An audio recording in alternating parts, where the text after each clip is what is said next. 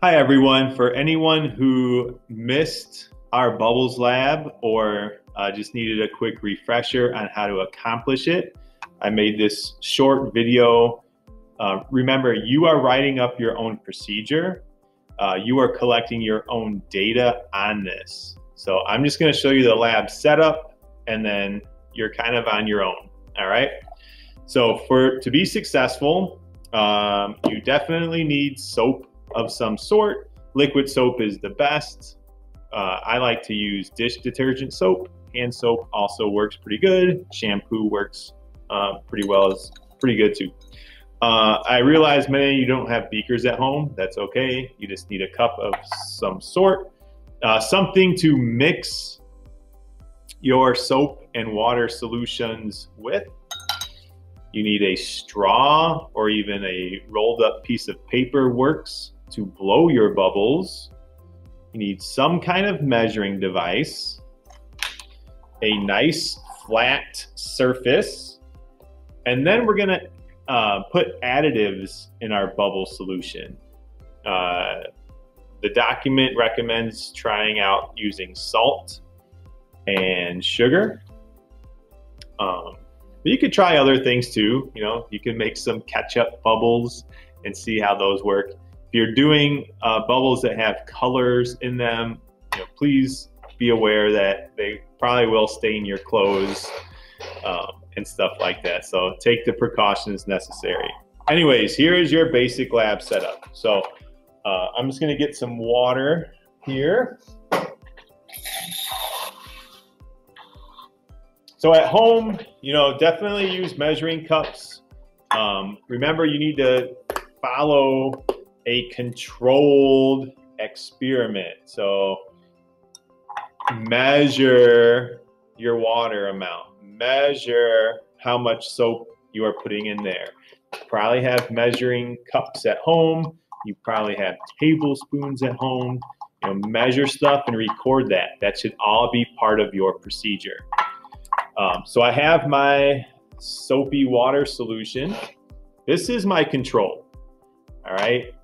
Now, if I was doing this and putting different additives into it, because this is my control, I would go ahead and divvy this up, uh, split this up amongst uh, a couple more cups.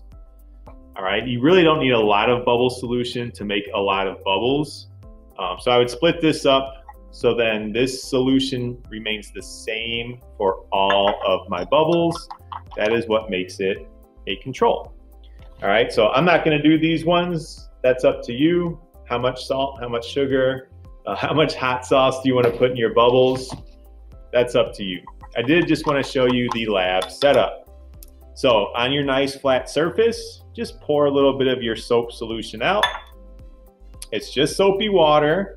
So can't hurt anybody. Don't pour it in your eyes. Don't drink it. So your so your tabletop is wet. How to blow your bubbles in, I just dip my straw into my bubble solution and just blow on the table.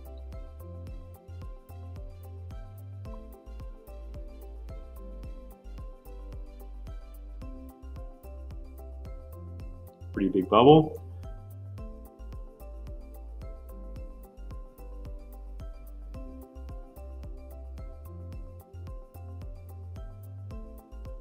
Pretty big bubble.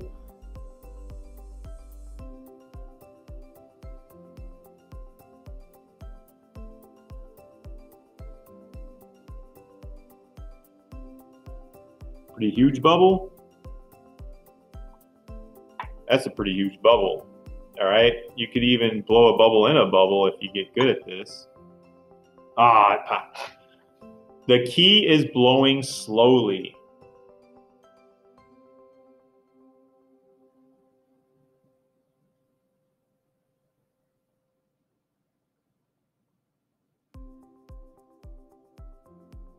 So as you blow your bubbles, um, you can measure it. They, sh they should be pretty durable.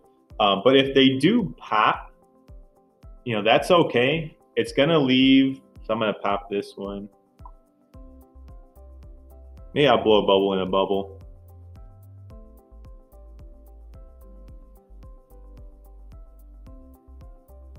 Man, these are big today.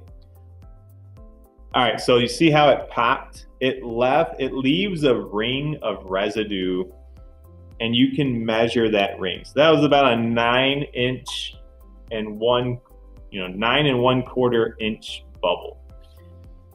Blow slowly and you will be successful. Again, this is your control. You are then making two additional solutions by splitting up this control bubble solution and adding a measured amount of chemical to it. Have fun. Make sure you clean stuff off. Please don't do this on your floor and have someone slip on it. Um, all right. Thanks, guys.